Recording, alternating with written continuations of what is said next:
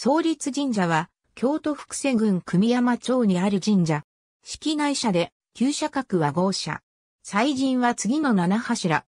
創立神社は、狭山総栗に鎮座し、演技式神明帳に記載されている神社で、三代、実録上元元年正月27日の上に見える、総栗神と考えられている。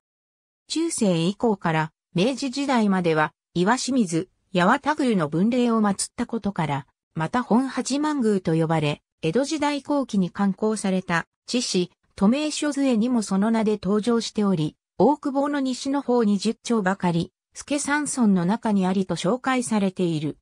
創立神社の本殿の規模と形式は、岩清水、八幡宮の分霊を祀ることから三軒社流れ作りに作られている。社殿によれば、本殿の建立年については、室町時代末期の1494年頃と考えられている。屋根は日和田吹きで、正面に光背をつけている。本殿のととも館には向かって、左に花と鳥、右に紅葉と鹿を彫刻したカエル股がある。また、脇障子の上部には、リスとブドウをあしらった精巧な彫刻を施している。本殿は昭和55年から56年にかけて、彩色の塗り替えと屋根の吹き替えが行われた。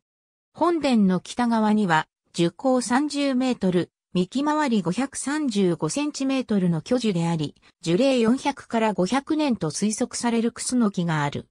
しめ縄が巻かれ、根元には稲荷社の少子が祀られていることから古来より、ご神木として住民に親しまれたことがわかる。この付近は低地で洪水上周地であったことから巨木が比較的少なく、樹勢も旺盛なことから極めて貴重な巨樹であり、1993年6月、京都の自然200選に選ばれ、1994年2月には町指定の天然記念物に指定された。ありがとうございます。